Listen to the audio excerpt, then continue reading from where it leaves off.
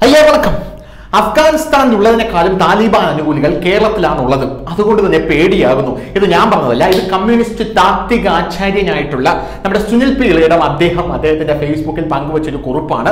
എന്തു തന്നെയായിരുന്നാലും ആ ജാതി ഈ ജാതിയോട് ചെയ്തത് മറക്കല്ല്. ഈ ജാതി ആ ജാതിയോട് ചെയ്തത് മറക്കല്ല്. ഈ രണ്ട് ജാതികളും കൂടെ മറ്റേ ജാതിയോട് ചെയ്തത് മറക്കല്ല്. ഈ ജാതി പതിനായിരം കൊല്ലം മുമ്പ് നിന്നോട് ചെയ്ത കാര്യം നീ മറക്കല്ല് എന്നൊക്കെ പറഞ്ഞ് സാധാരണ കുത്തിത്തിരിപ്പ് നടത്തുന്ന അതിയാൽ. ഒന്ന് ന്യൂനപക്ഷ ഭീകരതയെ ഒന്ന് വിമർശിച്ച് കളയാമെന്ന് പറഞ്ഞ് തന്റെ കണ്ണാടി അതിലോട്ടൊന്ന് തിരിച്ചു വെച്ചതായിരുന്നു.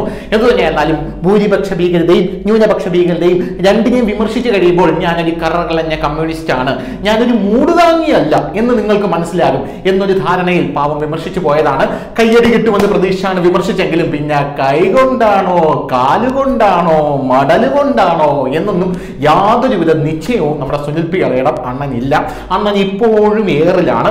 അണ്ണന് ചറപറ ചറപറയാണ് ഭീഷണി വന്നിരിക്കുന്നത് എന്ന റിപ്പോർട്ടുകളാണ് പുറത്തു വരുന്നത് സാധാരണ സംഘപരിവാറിനെ വിമർശിക്കുമ്പോൾ ഏതെങ്കിലും ഒരു മാട്ട് സംഖ്യ ഫേസ്ബുക്കിന്റെ ഏതെങ്കിലും ഒരു മൂലയിൽ ഇരുന്ന് ചെറിയൊരു കമന്റ് ഇട്ട് കഴിഞ്ഞാൽ നമ്മുടെ മുഖ്യമന്ത്രി പിണറായി വിജയന്റെ പോസ്റ്റിലും കമ്മ്യൂണിസ്റ്റ് കമ്മ്യൂണിസ്റ്റ് താത്വികാചാര്യനായിട്ടുള്ള സുനിൽ പി ഇളയിടത്തിനെ വിമർശിച്ച കണ്ടോ?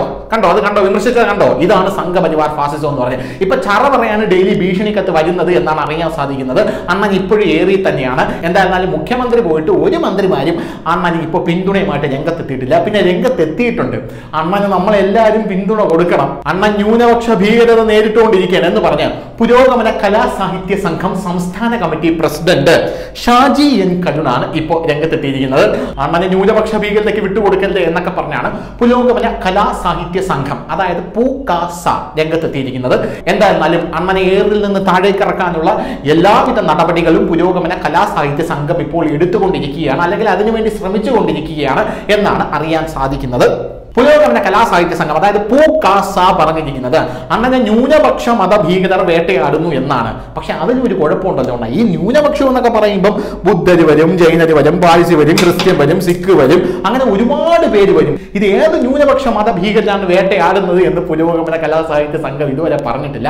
എന്തു തന്നെയായിരുന്നാലും അവരത് പറയും എന്നാണ് പലരും പ്രതീക്ഷിക്കുന്നത്. ജന്മം ചെയ്താലും അവർ പറയത്തില്ല എന്ന് വേറൊരു വിഭാഗവും വിശ്വസിക്കുന്നുണ്ട്. മലയാളിയുടെ ധൈഷണിക ജീവിതത്തിന്റെ ഇന്നത്തെ മുഖമാണ് എഴുത്തുകാരനും പ്രഭാഷകനുമായ സുനിൽ പി. ഇളയടം എന്നൊക്കെ പറഞ്ഞുകൊണ്ടാണ് നമ്മുടെ പൂ കാസ രംഗത്തെത്തിയിരിക്കുന്നത്. പിന്നെ അവർ പറയുന്നത് ഏറെക്കാലമായി അദ്ദേഹം ആർ എസ് എസ് ഉൾപ്പെടെയുള്ള ഭൂരിപക്ഷ മതവർഗീയ ഭീകര സംഘടനകളിൽ നിന്നും അവരുടെ സൈദ്ധാന്തിക പ്രവർത്തകരിൽ നിന്നും ആക്രമണം നേരിട്ടുകൊണ്ടിരിക്കുകയാണ്.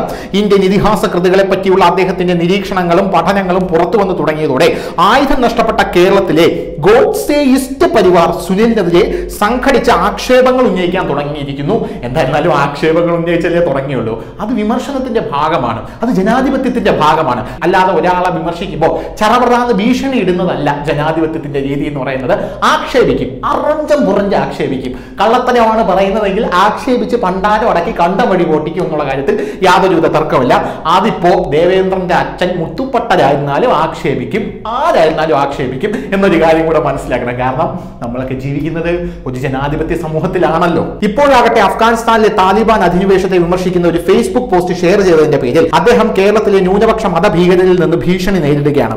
താലിബാനെ വിമർശിക്കുന്നവർ യു പിയിൽ പോയി ജീവിക്കണം എന്ന മട്ടിലുള്ള നിർദ്ദേശങ്ങൾ അദ്ദേഹത്തിന് ലഭിച്ചു കഴിഞ്ഞു. പല തലങ്ങളിലുള്ള ഒരു യുദ്ധ മുന്നണിയാണ് അദ്ദേഹത്തിനെതിരെ രൂപപ്പെട്ടിരിക്കുന്നത്. തെറിയും കൊലവിളിയും നടത്താൻ സമൂഹ മാധ്യമ പോരാളികൾ. അവരുടെ വ്യാഖ്യാതാക്കളായി ബുദ്ധി ജീവിതങ്ങൾ ഭൂരിപക്ഷ മതഭീകരതയും ന്യൂനപക്ഷ മതഭീകരതയും പരസ്പരം ആശ്രയിച്ചു കൊണ്ടാണ് നിൽക്കുന്നതെന്ന് സുനിലിനെതിരായ സംഘടിതമായ ആക്രമണങ്ങൾ വ്യക്തമാക്കുന്നു. ജനാധിപത്യത്തിനും മതേതരത്വത്തിനും ഒപ്പം നിൽക്കുന്ന ചിന്തകരെയും എഴുത്തുകാരെയും കലാകാരന്മാരെയുമാണ് എല്ലാ വിഭാഗം മതരാഷ്ട്രീയ സംഘടനകളും ലക്ഷ്യമിടുന്നത്.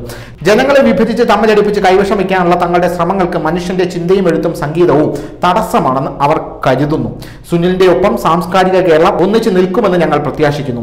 സുനിൽ പി. ഇളയടത്തിനെതിരായുള്ള ഭീഷണിയെ പുരോഗമന കലാസാഹിത്യ സംഘം സംസ്ഥാന കമ്മിറ്റി ശക്തമായി അപലപിക്കുന്നു. വിവിധ വിഭാഗം മതഭീകര സംഘടനകളും യോജിച്ച് എഴുത്തുകാർക്കെതിരെ ആക്രമണങ്ങൾക്ക് തുനിയുന്നു എന്നത് അത്യന്തം അപകടകരമാണ്. എന്നൊക്കെ പറഞ്ഞുകൊണ്ടാണ് പുരോഗമന കലാസാഹിത്യ സംഘം വച്ച് കീച്ചിയിരിക്കുന്നത്. എന്തു തന്നെയായിരുന്നാലും ഹിന്ദുത്വത്തോട് സമ്പൂർണ യുദ്ധമാണ്.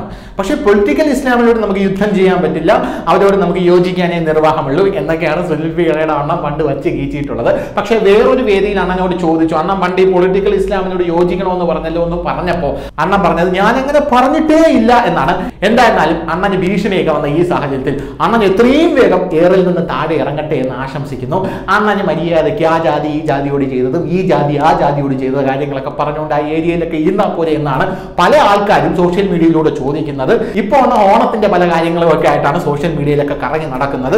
പല മാധ്യമങ്ങളിലും കയറി ഇരുന്ന് സവർണ ബ്രാഹ്മണിക്കൽ ഹെജിമണിയുടെ സെറിമണിയായ ഒരു ഹിന്ദു മിത്തിന്റെ യാതൊരുവിധ ചരിത്രബോധവുമില്ലാത്ത നിയോ ലിബറൽ സംസ്കാരത്തിന്റെ ആര്യൻ അധിനിവേശത്തിന്റെ അസ്പ്രേലിതമായ വിസ്ഫോടനമാണ് ഓണം എന്നൊക്കെ പറഞ്ഞ് രംഗത്തെത്തിയിട്ടുണ്ട്.